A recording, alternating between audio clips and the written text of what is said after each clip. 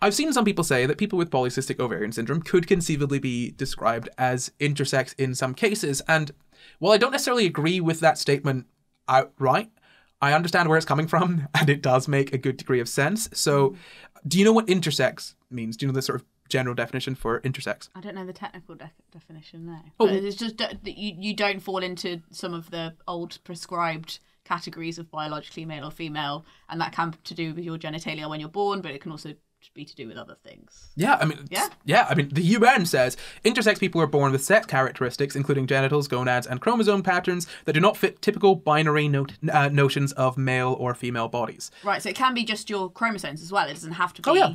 your genitalia. Like you could Oh, just yeah, be yeah, born just with like yeah. Different chromosomes. Oh, that absolutely, yeah, yeah. So these So chromosomes. loads of people can be intersex and they wouldn't know. Oh, loads of people are intersex and they don't know. Yeah. Like, honestly, a ton of people are intersex and they don't know. A lot of people only find out they're. You're like, mm. There's an episode of House about this. Yeah. Which I've only seen that episode of House because it was on in this house. Yeah. Uh, the other day when I was here. Meta. Uh, yeah, it was about a, a lady who had testicles and she didn't know. Uh, and she They're was undescended, yeah. Yeah. yeah. So there can be a ton of different sort of chromosomal makeups. Uh, you can have androgen insensitivity syndrome, which would mean you'd have sort of XY chromosomes and the SRY gene producing androgens, but your body just doesn't doesn't sort of I guess interact with them, react to them this the, the sort of way that it normally would, meaning that you don't have typical male sex development, right? Uh, there's so many, there's so so many different intersex conditions. There's so many different uh, routes to being classed as intersex. I'm, I'm not going to be able to get into all of them, but that's the sort of UN definition of intersex, that being born with sex characteristics um, that don't fit the typical male-female binary. But the UK government defines sex as uh, referring to the biological aspects of an individual as determined by their anatomy, which is produced by their chromosomes, hormones, and their interactions generally male or female, something that is assigned at birth. But very loosely, sex is generally sort of described as being these biological markers, right? Um, you know, chromosomes, uh, secondary sex character- characteristics, primary sex characteristics, characteristics, and sort of hormone balances. And all of these come into, you know, the sort of idea of what sex is. And when these things don't align, that's when you can get kind of be classed as intersex. Generally, it's chromosomal or anatomical. So that would be just the primary and secondary sex characteristics. Primary sex characteristics being sort of your, you know, your sex organs. Secondary being the ones generally that come about during puberty. So that'd be breasts, facial hair, all of that stuff, right? So you can understand here why people would say, okay, PCOS could be loosely described as an intersex condition because you are you- like because of a this sort of natural way that your body is sort of uh, producing hormones you know whether it whether it's sort of atypical or not because of the natural way your body's producing hormones you are you're you are sort of um you're sort of exhibiting uh i guess non-typical secondary sex characteristics right? Which is quite interesting because it, it affects so many people right Yeah, and it, it's also um some of it. I'm like, I feel like I was prescribed things that actually should have just been prescribed to society. I was like, do you want to like talk to them? Don't talk to me. I, Yeah. I don't want. And I think the thing of like. Okay, maybe it could be an intersex condition, but then is the prerequisite of somebody being fertile part of them being like a, a woman? right No, and like, is it like they're not that hairy? Like, how hairy am I allowed to be without? Do you know what I mean? No, no, And yeah, so, exactly. some of it, I'm like, oh yeah, maybe it's intersex, but then I'm like, maybe it's how we perceive women to be like hairless and fertile and and sh- slippery and shiny. this is the thing this is this is kind of is my how I would describe myself. this is this is very much my point that like Mm. when you when you look at this and you take it you take it as a whole the idea of sex being a strict binary or a you know a, a binary with the other option of being intersex which we'll usually just ignore it just it kind of breaks down right because it's quite clear that it's just a case of if you change some hormones that are already naturally produced in the body you ch- ch- change the levels of them you will have you you have sort of different outcomes. And it's not it's not that strict binary that we're kind of taught throughout our entire lives. I don't know i just find it kind of interesting the way that again sort of uh, the binary of sort of sex that we've got influences how this is treated and how it's viewed. I mean like you're saying there a lot of these treatments could just be a case of hey society maybe mm-hmm. don't make people who you know have more hair than you'd expect them to have don't treat them badly. And maybe don't make fun of them for it. Maybe don't make them feel like they shouldn't have that. Because like why not There was you a know? boy at my school who called me pistachio because I had a mustache.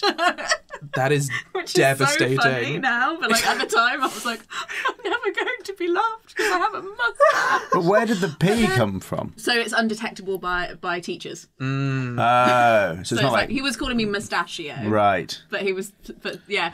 But it's interesting because now, like, I I'm still like insecure about the hair thing. But like, my boyfriend Craig was just like, "Why are you weird about this?" And now we like shave together in the morning, so like put on our little like thing and like Oh, do the great. thing. But then I, I realized the only time that I've ever seen that in films was like at the the beginning of Shrek Two. And like Fiona is literally an ogre. the only woman I've ever seen with hair on their face in media is Fiona in her ogre form. Well, I make films, so I'll do some PCOS Bi- representation British, British sometime. women, please. But yeah, it's interesting, and it's also like not. I kind of don't think I don't walk around the world being like I'm a woman with PCOS. Mm. Like it's not like the worst thing of all of like the mm. ailments that all of my friendship group have. I said that I, I feel like I've like won the jackpot. You know what I mean? I'm like, mm. whoa. There are worse things, so I think it's something that like hasn't really affected my life past teenage years, really, because I'm not. I don't know because I've learned to handle it. Yeah, that's an interesting thing about the intersex thing about you saying like some people say that this should be because ultimately that is you know like you say you've got to create categories in order to diagnose in order to train in order to roll systems out but intersex is another category right it's like you had you had male female and you were like these categories don't fit everyone so you create another category in the middle that's like we'll put all, all these people who don't fit in these two in this one and then uh, but ultimately that's still a spectrum. There are people who will lie like lie right on the boundary between male and sex, and you may say that like people with PCOS, the argument could be that right now in the categories uh, of those those sexes plus intersex, um, maybe PCOS are like on that boundary between female and intersex, if that's the argument they're making, and they're sort of widening the box of the intersex box. But ultimately, that's still all categorical thinking, right? Yeah. um, which is like categories are great for ruling out systems and training people, but then you have to then train them, as we do talk all the time about where you get to like the next year of biology and then they go, everything you learned last year was not true. Um, it Here's was what the truth helpful, is, yeah. but here's what the truth is, and then they do that again and go, oh, that wasn't true. Like, I, I talk about this all the time about how I, I wish we could, even just for like two days out of the 250 a year that you're in school, um, you could do all your categories and then you could also be taught like, but also these categories aren't real things. They are helpful. Like they're, they're, they're helpful. Like, Yeah. and like we don't get that at all. I had to figure that out when I was like 25. That was like, oh my God, they're not real things. Exactly. Ah, and Especially Why studying did no one science. tell me that? Why did no? And I said this to a guy who does like a lot of education stuff. He's like, if you did that, you'd have to overhaul the entire education system. I was like, oh, Because like the children would revolt. Well, good, and we should. Like- but I was like, but if it's not true, Yeah. then like, Why would it's not just about it not being true, because I think using general categories works. It's fine when it's useful. yeah. Yeah. And then sometimes it becomes not useful, and that's when you've got a bloody problem, right? Because, well, now we've got this unuseful thing that is harming people. And I, so, look, I, I am in a Facebook group, or I'm intermittently in a Facebook group where it's essentially TERFs versus it's TERFs versus TRAs. It's people who don't like trans people um, arguing with people that think that trans people are fine, and you should probably just leave them alone for a little bit. Um, and I end up having a lot of conversations, and one of the things I, I genuinely am interested in understanding is how do you how do you define sex though. Like how does how do intersex people fit into your worldview? Okay well you don't want me to talk about intersex people. What about what about men that have you know cis men that have got gynecomastia right where they they grow breast tissue? What about you know like okay what about uh what about cis women that have polycystic ovary syndrome? Like what about all of these things? Like because if you're saying that it's it's strictly the biological stuff well okay what elements of it? Primary and secondary sex characteristics secondary sex characteristics are basically changed by hormones, right? Primary ones can be ambiguous, and your chromosomes don't necessarily cleanly like it's not a direct line from these chromosomes to this sort of. Uh, Sort of, uh, I guess, anatomical presentation. It is so much more complex than people let on, and this sort of very categorical thinking just just makes it so much harder in so many ways. And I mean, I'm I'm going to talk for a little bit longer. I'm so sorry, but like talking about species is something I often do to help people understand this because and I was talking to someone the other, someone the other day about this and they just they, they did not seem to get it. What my point is is that if you look at species, they don't exist, right? Like where does a chicken or like you know sort of proto chicken become a chicken?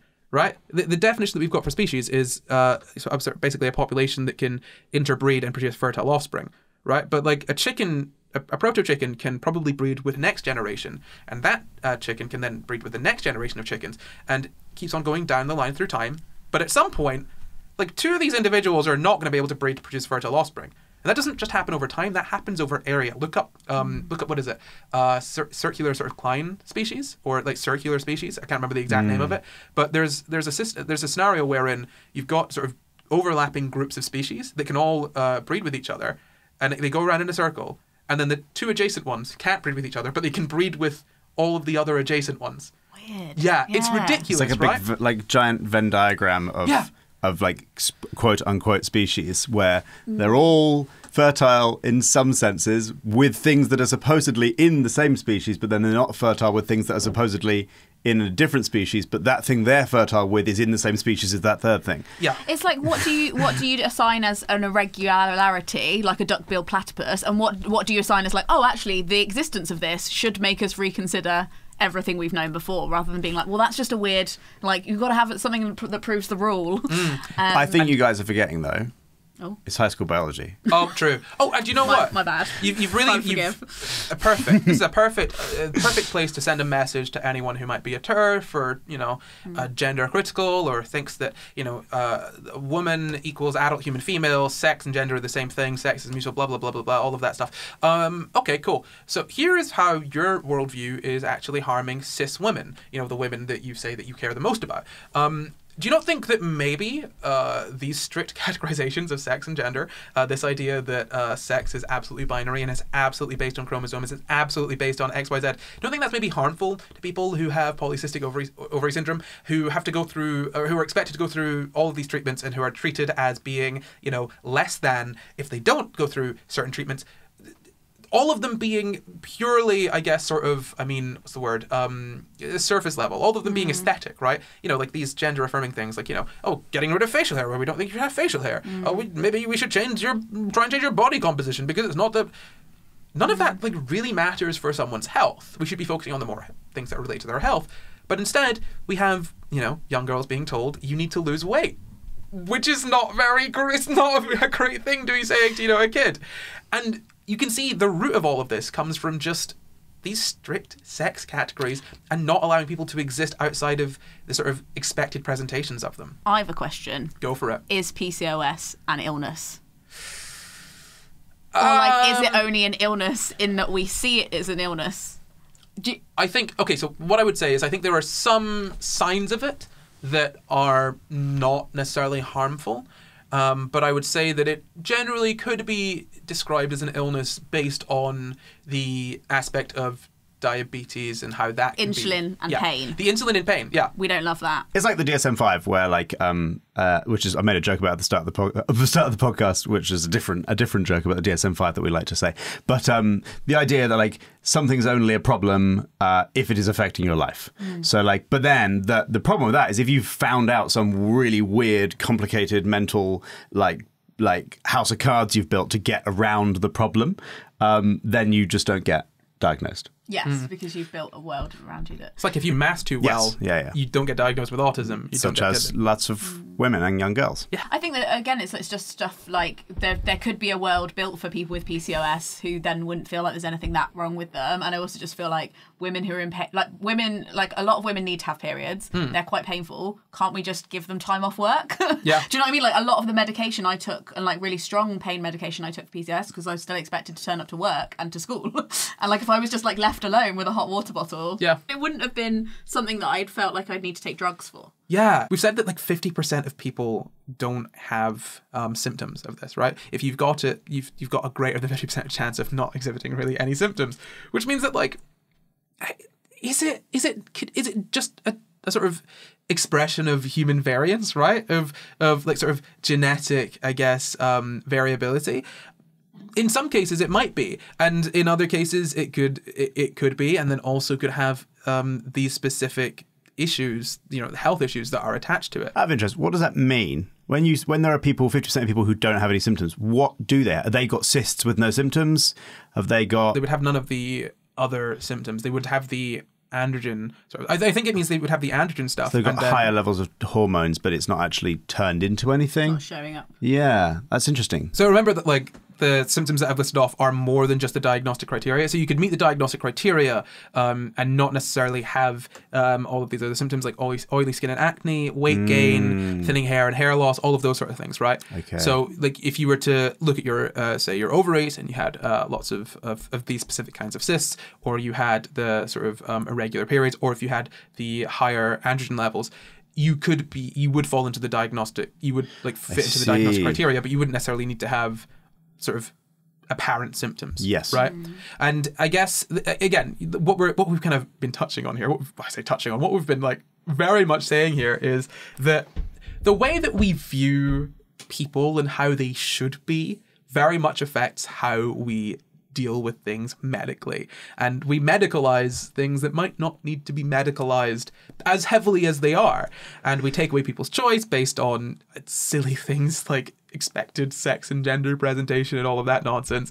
I mean, it's this is very much an interesting, I guess, syndrome to look at. It's very much an interesting thing to look at if you want to consider how does society impact, I guess, medicine in general? How does that impact how we view, you know, presentations of people? Because as we said, as we said kind of up top, it's sort of this intersection of all of these different things that we are just not really very good at dealing with in a sort of nuanced way.